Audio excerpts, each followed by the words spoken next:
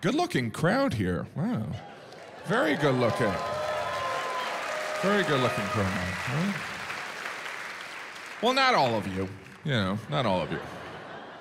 But I'm not breaking any news, right? We know where we stand.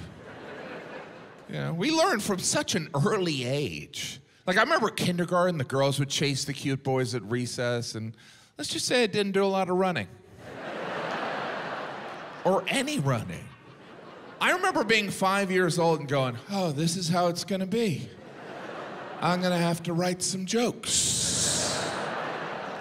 and I'll be hanging out with the fellas.